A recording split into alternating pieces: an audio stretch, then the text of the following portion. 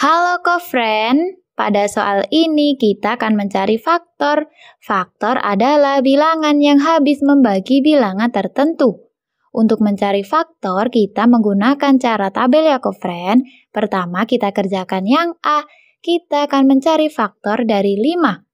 Kita cari dua bilangan jika dikalikan sama dengan 5. 1 dikali 5 sama dengan 5 sehingga faktor dari 5 adalah 1 dan 5. Kemudian untuk yang B faktor dari 6. Kita cari dua bilangan jika dikalikan menghasilkan 6.